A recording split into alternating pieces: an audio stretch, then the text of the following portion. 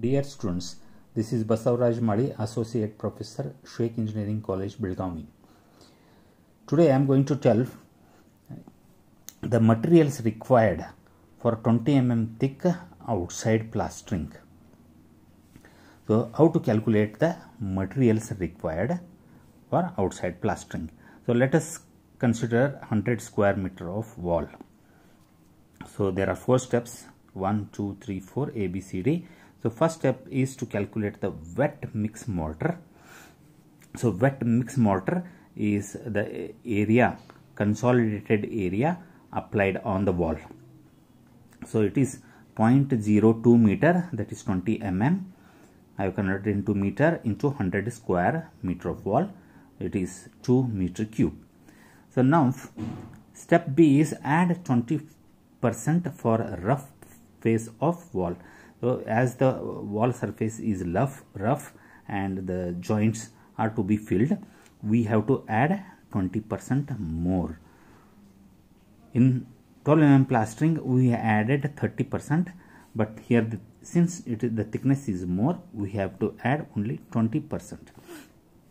So, 2 meter cube plus its 20% total it comes out to 2.4 meter cube now next step c step add 25% to get dry volume. So as we know this is wet volume. This is as it is applied on the wall. It is fully consolidated after adding water. So before adding water how much dry volume you have to take? For that you have to add by 25% same as in 12 mm plaster. So this 2.4 meter cube plus its 20 percent. Okay. Sorry it's a 25 percent. So it comes out to total 3 meter cube. So now we'll calculate the cement and sand required for various proportions. So for example for 1 is to 2 cement mortar the cement required is 3 meter cube divided by 1 plus 2 so if you divide this you will get 1 meter cube of cement. 1 meter cube is almost equal to 30 bags. So you can write in bags or in meter cube.